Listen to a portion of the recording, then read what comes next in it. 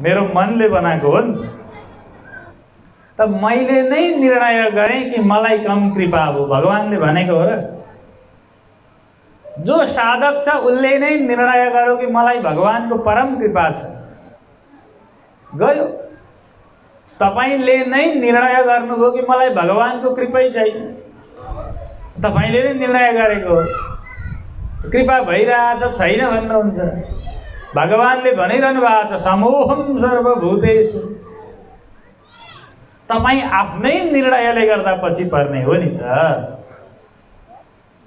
हो? न मे द्वेष्यस्ति न प्रिय। मेरो लागि न कोही द्वेष्य छ। द्वेष्य माने द्वेष गर्न रिसाउन योग्य।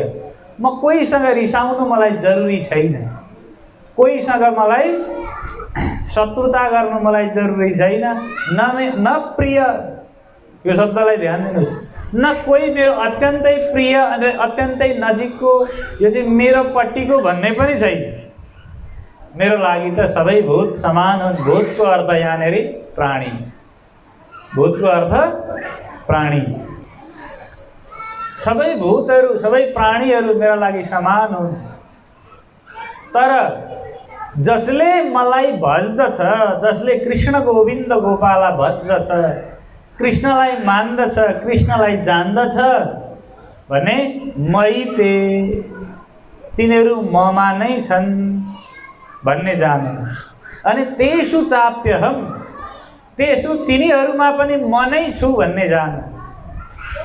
बद्ध छ कसले जसले मनमा उत्पन्न भएका सम्पूर्ण कर्महरूलाई सम्पूर्ण आशा सम्पूर्ण कामना लोभ द्वन्द्वलाई परित्याग गरेर आत्मातर्फ चेतनातर्फ जो व्यक्ति अघि बढ्यो त्यो त कृष्णसँग आइगयो नि त।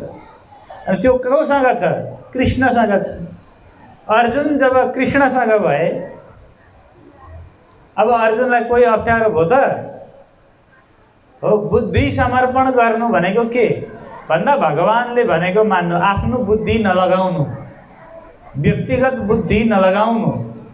सद्गुरुको बुद्धिमा चल्नु गुरुले भन्नुभयो भसक्यो भगवान्ले गीतामा भन्नुभयो सक्यो। भगवान्ले वेदान्त सूत्रमा बोल्नुभयो सक्यो।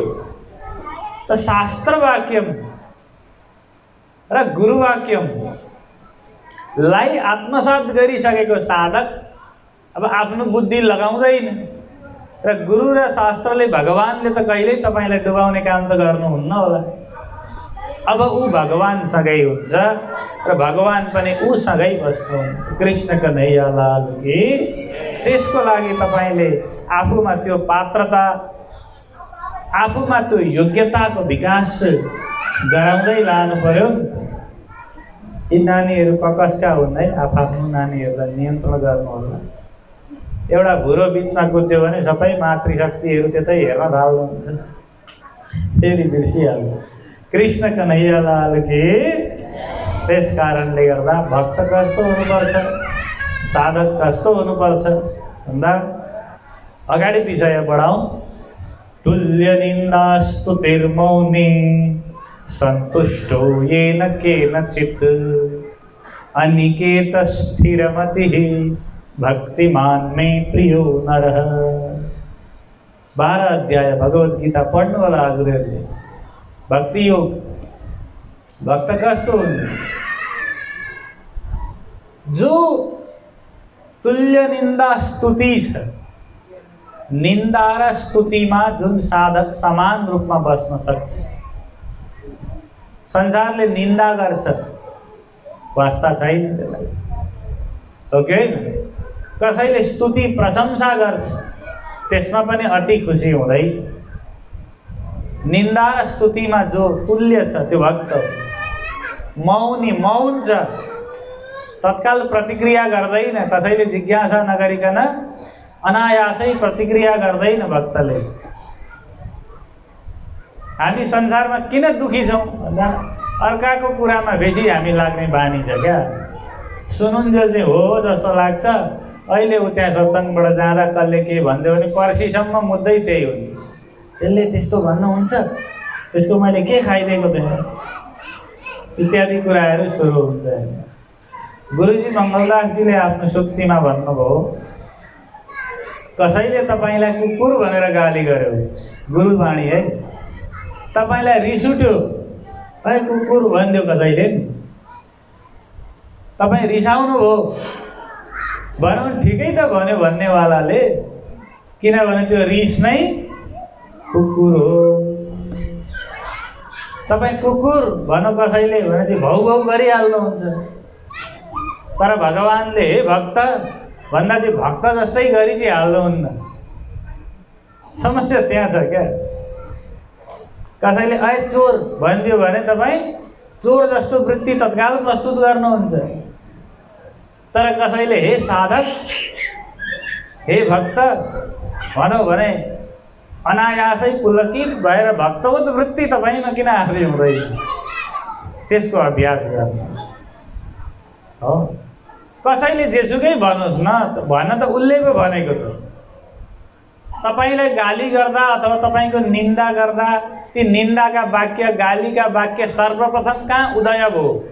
उसको मस्तिष्कमा भयो नि त। र उसको मस्तिष्कमा ती गाली निन्दा वाक्यहरू उत्पन्न भएपछि हो मस्तिष्कमा नेगेटिभ केमिकल कसको उत्पन्न भयो उसकै भयो त्यसको त्यसले असर कसलाई गर्यो? उसैलाई गर्दैछ। सलाई पारेर बत्ती बाल्दा पहिला को जल्छ? बत्तीभन्दा अगाडि को जल्छ? सलाई त जलिहाल्छ। बत्ती त नबल्न पनि सक्छ नि। तर सलाई त कसैले तपाईँको निन्दा गर्छ भने पहिला उही जलो बिचरा। मलाई त्यसले त्यस्तो भन्यो। त्यसले सजाय पाउनुपर्छ। त्यसलाई चाहिँ कसैले केही भन्यो पाइसक्यो तपाईँलाई गाली गर्नु नै उसको सजाय हो। उसले भजन गर्नुपर्ने बेलामा गाली गर्दैछ। यहाँभन्दा सजाय उसलाई के छ? तर उसलाई थाहा भएन कि म मेरो यो दण्ड हो भन्ने कुरो। उसले थाहा नपाएको मात्रै हो। तपाईँको निन्दा गर्नु तपाईँलाई गाली गर्नु नै त बिचरा सजाय भोग्दैछ कृष्ण भजन गाउनु पर्नेमा के गर्दैछ? निन्दा गर्दैछ विरोध गर्दैछ। यो कुरो बुझेको हुनाले जो भक्त हो त्यो चाहिँ तुल्य निन्दा स्तुतिर मौनी। निन्दा र स्तुतिमा तुल्य छ। समान सन्तुष्टो येन केनचित। येन केनचित सन्तुष्ट। विधिवशात जे प्राप्त हुन्छ त्यसले भक्त सन्तुष्ट हुन्छ। भक्तको कुनै डिमान्ड हुँदैन। यस्तै हुनुपर्छ मलाई भन्ने भगवत कृपावश विधिवश व्यवस्थावश जे प्राप्त हुन्छ सन्तुष्ट। जसले डिमान्ड गर्न थाल्छ सजाय त्यही हो। डिमान्ड गर्यो नि त दुःखी भइगयो तपाईँले केही नभनेकोले गर्दा तपाईँलाई यस्तो गरे कि तपाईँले अलिकति बोलेको भए यस्तो पाउनुहुन्थ्यो भन्छन् कसै कसैले नि। तपाईँ बोल्नुहुन्न भन्नुहुन्न छोडिदिनुहुन्छ। त्यही भएर अलिक मान्छेले पनि उ गर्छन्। हेर त त्यसले। अलिक थर्कायो हो र त्यो थर्काइसक्दा त्यो बिचरा अल्पमतमा परिसक्यो भन्ने उसले बुझेन। डिमान्ड गरिसक्दा ऊ माइनस भइसक्यो भन्ने कुरो उसले बुझेन नि त। त्यो भक्त त के हो भक्तको स्वभाव त येन केनचित सन्तुष्ट जे मिल्यो सो उज्यालो तृष्णाको तुच्छ जालो मन बिच नभए जो मिल्यो सो उज्यालो तृष्णाको तुच्छ जालो मनमा छैन भने त जे मिले पनि उज्यालो हुन्छ। तर तृष्णाको भित्र जालो छ भने चाहिँ सबै कुरो दोषी नै दोषी देखिन्छ विरोधै विरोध देखिन्छ। हो? कालै कालो देखिन्छ।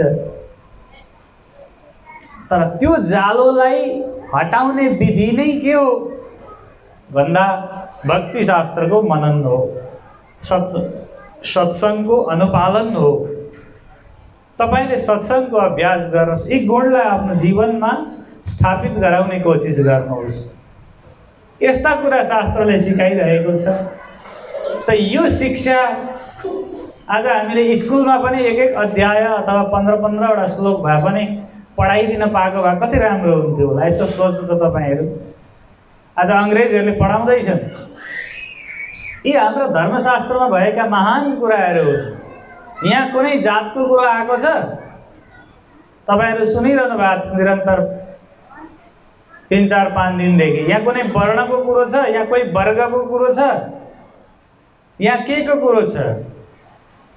यहाँ जीव र ईश्वरको कुरो छ यहाँ भक्त र भगवान्को कुरो छ यति दुईवटा त छ जीवले अज्ञानको कारणले गर्दा उपाधिवश आफूलाई विभिन्न वर्ग मत पन्थको मानिदिन्छ त्यो उसको मान्यता हो त्यो सत्य होइन। शास्त्रले विशुद्ध रूपमा जीवलाई उपदेश गरेको छ जहिल्यै पनि। चाहे त्यो जुनसुकै वर्गको होस् जुनसुकै राष्ट्रको होस् जीव बिचरा दुखी छ जगतमा। जीव दुखी छ। जीव छटपटाएको छ। जीव रोइरहेको छ जीव तडपिरहेको छ। बाहिर पुसपास गरेर यसो हाँस्दै आए पनि भित्र जलेको छ। यो मन जलिरहेछ भन्ने एउटा गीत कि भजन भए जस्तो नि। यो जलेको छ बिचरो। कसले जलायो? हेर्नुहोस् अध्ययन गर्नुहोस्। किन जल्यो जल्दैछ को? मन जल्दैछ कि शरीर जल्दैछ कि चेतना जल्दैछ? यो तिनवटा केन्द्र कहिल्यै नबिर्सिनु। किन जल्दैछ के का लागि जल्दैछ? जल्दा के पाइयो? मीमांसा गर्नु। अनि बाहिर निस्किनु।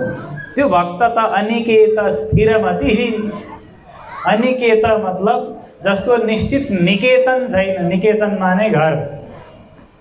घरै मेरो यही हुनुपर्छ म यहाँ बस्नुपर्छ यस्तो डिजाइनको चाहियो यस्तो रङको मेरो भित्तो भएको हुनुपर्छ यस्तो डिजाइनको मेरो ढोका हुनुपर्छ झ्याल हुनुपर्छसँग भक्तलाई खोइ मतलब छैन। निधाएपछि तपाईँका झ्याल ढोका रङहरू आकृतिको केही प्रयोजन छ? तपाईँलाई घर किन चाहियो? भन्दा घाम पानी छेकेर निधाउन हो नि। रातभरि निन्द्रा नलागेपछि तपाईँका रङ रोगन तपाईँले ल्याएका सरसामानहरू टिभी फ्रिज सोफाहरूको केही प्रयोजन छ जब तपाईँ छटपटाइरहनु भएको छ? तपाईँ रात दिन तपाईँ एक वर्षदेखि किस्ता तिर्दै हुनुहुन्छ। टिभीको फ्रिजको सोफाको पलङको दराजको किस्ता तिरिरहनु भएको छ। हो? फलानु सहकारीबाट नि। के प्रयोजन छ त्यसको? प्रयोजनमा खर्च गर्नुहोस् न। तपाईँ खर्च गर्न नजानेर जीव जगतमा दुखी एउटा खटिया भए पुगिहाल्थ्यो त्यो यता आउँदो हुन्छ नि मधेसमा। त्यो बडो मनपर्छ मलाई। खुट्टा भएको बिचमा डोरी भएको हुन्छ। हो? अनि त्यहाँ एउटा सिरानी लगाइदिएर एउटा एक थोक सकिगयो एउटा राडी ओछ्याएर सिरानी लगाइदिएपछि सकिगयो अब त्यहाँ निधाएपछि तपाईँ केमा निधाउनु भयो भोलि? त्यति हो तपाईँलाई चाहिएको चाहिँ। तर तपाईँ भ्रमवश अन्यथा अन्यथा चिन्तन गरेर दिनभरि गीता पढ्ने समयमा कथा सुन्ने समयमा सत्सङ्ग गर्ने समयमा ध्यान गर्ने समयमा भगवान्को नाम सङ्कीर्तन गर्ने समयमा मेरो घर भएन मेरो घर यस्तो फलानुको अग्लो भइसक्यो। फलानुले तिनवटा बनाइसक्यो। यस्तो कुरोमा लाग्दै लाग्दैन भक्त त अनिकेत हुन्छ। उसको घरबारको टुङ्गै छैन। जहाँ जान्छ त्यहाँ बस्छ जो मिल्छ खान्छ भज गोविन्दम सक्यो एक दिन सट्ट जान्छ भगवत धाम परम धाम हिरै हिराएको छ। आत्माको जुन मूल घर छ सब पूर्णै पूर्ण छ। यहाँका ढुङ्गा माटोहरू थुपारेर यो वातावरण प्रदूषण गरेर केही हुनेवाला यहाँ छैन। वातावरण प्रदूषण गरेर नि भक्त निकेत हुन्छ। सरलताको अभ्यास गर्नुहोस्। अब प्रभु मैले त घर एक दुईवटा बनाइहालेँ के गरौँ भोलि बेचौँ भन्ने लाग्ला तपाईँलाई। एक दुईवटा बेचिदिए भयो एक दुईवटा बेचेर सेवा गरे भयो भएकोमा सन्तुष्ट गर्नुहोस्। जति भयो भइगयो जे जे ल्याउनु भयो भइगयो अब नफाटुन्जेल अर्को नल्याउनु। बुझ्नुभयो? त्यो नफाटुन्जेल किन अर्को ल्याउनु? त्यो लुगा नफाटुन्जेल किन अर्को किन्नु? त्यो कुर्सी नभाँच्युन्जेल किन अर्को अर्को किन्नु? अनावश्यक खर्च गरिरहेछ। त्यसैमा चिन्ता गरिरहेछ जीव। जो भक्त हो ऊ त अनिकेत स्थिरमति भक्तिमान मे प्रियो नर मेरै मलाई नै उसले घर मान्छ। उसको त यो भूमि नै सैया हो। भक्तको कस्तो हुन्छ? भक्तको परिवार कस्तो हुन्छ एकजना? एउटा महान भनाइ छ। भक्तको परिवारै विलक्षणको हुन्छ हेर्नुहोस्। हाम्रो काका मामा दाजु भाउजू बुवा आमा भए जस्तो नि। धैर्यं यस्य पिता क्षमाश्च जननी। शान्तिश्चिरं गेहिनी। सत्यं शूनुरयं दयाश्च भगिनी। भ्राता मनः संयमः। शय्या भूमितलं दिशोऽपि वशनं। ज्ञानामृतं भोजनम् एते यस्य कुटुम्बिनो वद सखे कस्मात् भयं योगिनः धैर्यं यस्य पिता। उसको पिता पिताश्री चाहिँ धैर्य। हो क्षमाश्च जननी आमा क्षमा हुन् भक्तको नि पिता धैर्य हो आमा क्षमा हो शान्तिश्चिरम गेहिनी शान्ति गृहिणी हुन् शान्ति चाहिँ के हुन्? सत्य छोरा हो दया बहिनी हुन्। दाजुभाइ संयमित मन हो सैया भूमि तलम उसको ओछ्यान उसको बिछ्यौना भनेको भूमि तलम यो भुइँ हो महान पृथ्वी। भुइँमा बसेपछि भुइँमा सुतेपछि कहीँ झरिँदैन। खाटमा सुत्यो टाढामाथि सुत्यो भने झरिन्छ। भुइँमा सुतेको मान्छे कहीँ झर्छ? कहीँ झर्दैन क्या हो? सैया भूमि तलम दिशोपि वसनम। यो चारै दिशाहरू उसका लुगाहरू हुन्। चारै दिशाहरू वस्त्र हो। अनि ज्ञानामृतम भोजनम। ज्ञान अमृत चाहिँ उसको भोजन हो। भक्तले के खान्छ भन्दा ज्ञान खान्छ।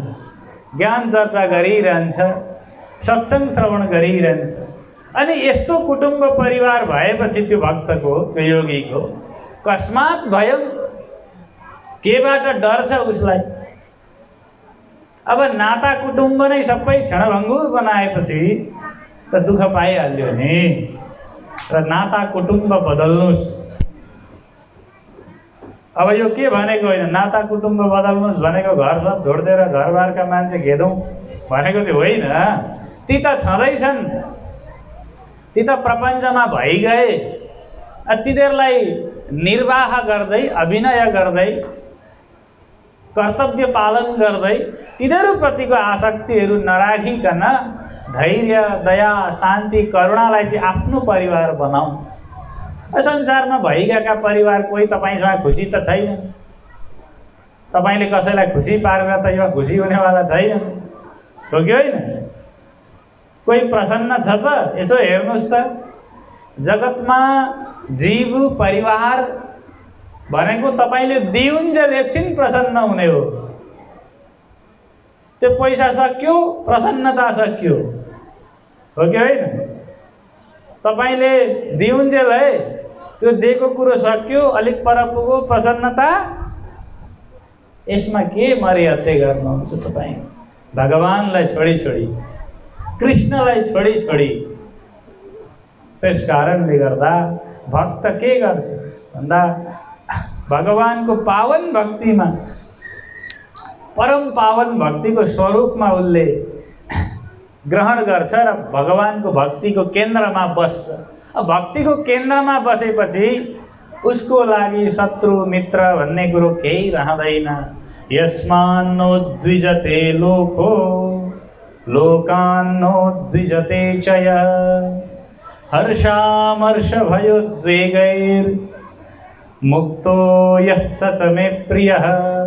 भगवान्ले भन्नुहुन्छ अर्जुन मलाई कस्तो भक्त ठिक लाग्छ भने यस्मान्नो द्विजते लोको। जो देखि जुन मेरो भक्तदेखि लोक माने अरू व्यक्तिहरू दोस्रो व्यक्तिहरू उद्विग्न हुनु नपरोस् दुखी हुनु नपरोस्। मेरो कारणले फलानुलाई म दुःख दिन्न। र फलानुको कारणले म पनि दुखी हुन लोकान्नो द्विजते चय लोकदेखि पनि भक्त उद्विग्न हुँदैन। यसले यसो गरिदियो यसले यसो भनौ भनौ रोयो करायो यो खोइ भक्तको लक्षण मेरो कारणले पनि अर्को व्यक्ति दुखी हुनु भएन र अर्को व्यक्तिको कारणले पनि म मेरो निजानन्दलाई भङ्ग गर्नेवाला छुइनँ। तटस्थ। अब मैले केही नगरे आफै दुखी हुन्छ भने त त्यसको व्यक्तिगत कुरा हो। अब मैले भनेकै छैन मैले केही गरेकै छैन तर कोही त्यसै त्यतिकै ठुस्किरहेको हुन्छ। तपाईँले त यसो भन्नुभयो अरे त्यहाँ यस्तो भयो अरे। त्यो उसको व्यक्तिगत कुरो हो। अब आफै बुद्धि लगाइ लगाइ रिसाउँछ भने त त्यसलाई अब के गर्नु? तर म चाहिँ उसलाई के गर्न गर्दिनँ? म यदि भक्त हो भने मेरो कारणले दोस्रो व्यक्ति रुनु नपरोस् न दोस्रो व्यक्तिले कष्ट सहनु नपरोस् र उसले केही गरिआयो भने पनि त्यसलाई म मुद्दा बनाउँदिनँ म तटस्थ र लोकबाट पनि मलाई कुनै उद्विग्नता छैन हर्ष मर्ष भय उद्वेगै हर्ष अहर्ष भय उद्विग्नता हाँसो खुसी रोदन उत्साह इत्यादि जुन मानसिक भावहरू हुन्छन् मनुष्यको स्वाभाविक मानसिक भावहरूदेखि भक्त विमुक्त हुन्छ ऊ निजानन्दको भावमा हुन्छ किनभने सबै हर्ष सुख उल्लास इत्यादि हुने मनमा हो सबै मानसिक तलमा हुने कुराहरू हुन् बुझ्नुभयो मानसिक तलबाट जब साधक जब भक्त चैतन्यको तलमा आउँछ आत्मतर्फ प्रस्थान गर्छ मन आदि इन्द्रियहरू पनि जुन साक्षीद्वारा सञ्चालित छ त्यसको केन्द्रमा जब आउँछ तब त्यो भक्त के हुन्छ? हर्ष शोक उद्विग्नता भय यी कुराहरूदेखि मुक्त हुन्छ स्वतन्त्र हुन्छ। किनभने आनन्द रूप भगवान्को स्वरूपलाई जानेपछि भय रहँदैन भन्छ वेदले। आनन्दम ब्रह्मणो विद्वान न विभेति नेति। आनन्द ब्रह्मलाई बुझिसकेको साधक कोहीसँग डराउँदैन किनभने डराउन योग्य को छ र जगतमा? सब भयभीत छन् बुझ्नुभयो सब अनुहारमा भय छ। ठुल्ठुला हतियार लिएको किन छ भन्दा डरले। त्यो कहाँ बहादुर भएर हो त त्यसले आतङ्क किन फैलाउँदैछ भन्दा डरले भएको कारणले गर्दा। भन्ने कुरो बुझेपछि भक्त भयभीत हुँदैन। डाका आउँदा हेर्नु फेरि यहाँ रत्नाकरकै कुरो आयो। नारद मैलाई बाटोमा सैनिकसहित रत्नाकरले झेको हतियारसहित नारदलाई कोही डर नै भएन। हाँस्नु हो। कि होइन? नारदजी हाँसेपछि रत्नाकरलाई झन् रिस हप्काउँदाखेरि अर्को हाँसिदियो भने नि त्यो हप्काउने झन् रिसाउँछ बुझ्नुभयो झन् रिस उठ्यो म यस्तो खतरनाक छु डर लाग्दैन तिमीलाई साधु तिमीलाई किन डराउनु म तिम्रो त म त दयाले पो यहाँ कस्तो भइसक्यो तिमीलाई त म त अपार करुणा पो लाग्यो किन तिम्रो अवस्था देखेर तिमी कति विक्षिप्त छौ तिमी कति भयभीत हेर जो भक्त हो ऊ के गर्दैन यसो एउटा छ्यास मुसो कुदो भने पनि उफ्रेर भागेको छ त्यस्तो भक्त हुन्छ।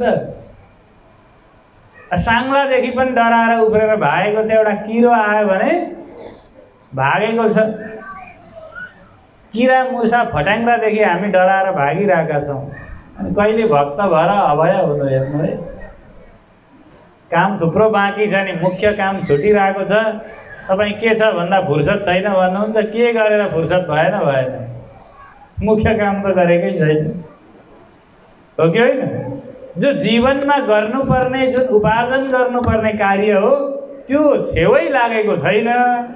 अनि किन भ्याइँदैन भ्याइँदैन? बित्यो जीवन है एउटा भजन छ नि बित्यो जीवन है ख्यालै ख्यालैमा हेर्नुहोस्। ख्याल ख्यालमा जीवन नबिताउँ। लहै लहैमा हजुरआमाले सम्झाउनुभयो माताजीले। हेर्नुहोस्, अपेक्षा नराख्नुहोस् कसैसँग पनि। अपेक्षा आशा नै परम दुःख हो, वेदले बताउँछ। आशा ही परमो दुःखम, नैराश्यम परमम सुखम। कसैसँग यसले यसो गर्दै हुन्थ्यो भन्ने भाव राखिसक्दा तपाईँको दुःखका दिन सुरु भए। भक्त अनपेक्ष हुन्छ भनेको छ शास्त्रले। गीतामा भगवान् भन्नुहुन्छ अनपेक्ष शुचिर्दक्ष। उदासीनो गतव्यथः।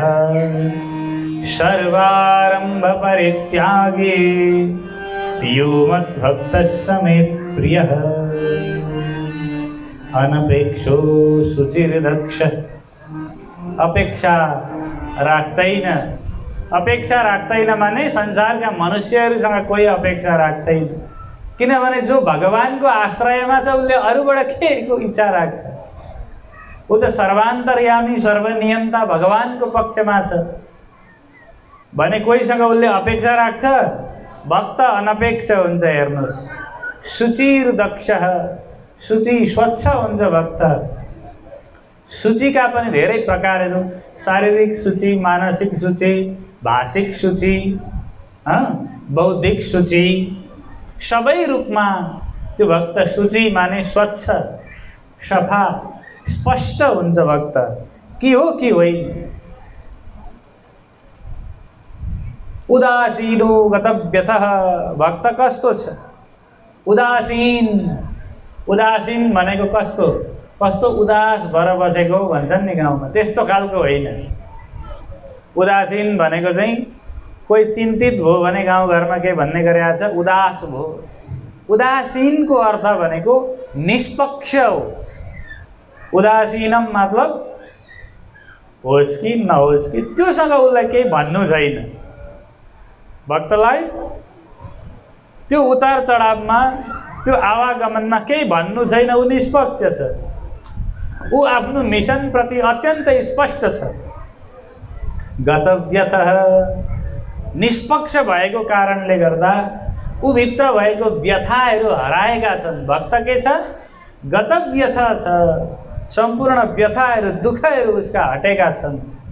सर्वारम्भ परित्यागी समस्त कर्महरूको आरम्भको परित्याग गर्नेवाला भक्त हुन्छ।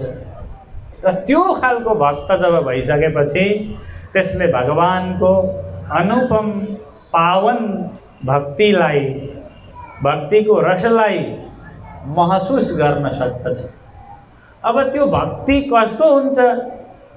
भक्त कस्तो हुन्छ भन्ने बुझ्नुभयो आजसम्म तपाईँले। भक्त हुन के गर्नुपर्दो रहेछ? थाहा पो होला नि। यसो बिहान आएर एकछिन घन्टी बजाउँदा भक्त हुँदैन नि। ध्यान दिनु नि। त्यतिमै म त भक्त हुँ भनेर मक्क नपर्नु नि। भक्त हुनु बहुत बाँकी छ। भक्त हुनको लागि परिश्रम गर्नुपर्छ। अब यति परिश्रम गरेर यस्तो भक्त भइसकेपछि यसले कस्तो भक्ति गर्छ हौ? भन्ने कुरो हामी भोलिदेखि सुन्छौँ। कृष्ण कन्हैया लाल के?